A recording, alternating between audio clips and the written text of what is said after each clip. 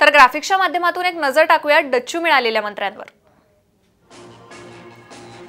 केंद्रीय राज्यमंत्री रावसाहेब दानवे केंद्रीय राज्यमंत्री संजय धोत्रे आणि संतोष गंगवार यांनाही डच्चू मिळाल्याचं समजतंय. तर केंद्रीय राज्यमंत्री देवश्री चौधरी आणि केंद्रीय आरोग्यमंत्री हर्षवर्धन यांनीही आपल्या मंत्रिपदाचा राजीनामा दिलाय. केंद्रीय मंत्री रमेश पोखरियाल सदानंद गौडा आणि धावरचंद गेहलोत यांनी देखील आपल्या मंत्रिपदाचा राजीनामा दिलेला आहे.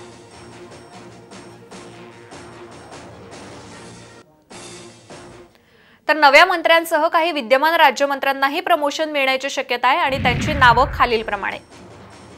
नागरी उड्डाण आणि शहर विकास मंत्री हरदीप सिंग पुरी अर्थराज्यमंत्री अनुराग ठाकूर गृहराज्यमंत्री G Kishan Reddy Kiren Rijiju R K Singh Mansukh Mandaviya आणि पुरुषोत्तम रुपाला यांचं प्रमोशन होण्याची शक्यता आहे. केंद्रीय मंत्रिमंडळाचा विस्तार होणार आहे आणि त्याच पार्श्वभूमीवर मंत्रिमंडळात मोठे फेरबदल होणार असल्याचं कळतंय. त्या संदर्भात अनेक मंत्र्यांनी त्या पार्श्वभूमीवर राजीनामे दिलेले आहेत तर काही राज्यमंत्र्यांना प्रमोशन मिळण्याची देखील शक्यता आहे.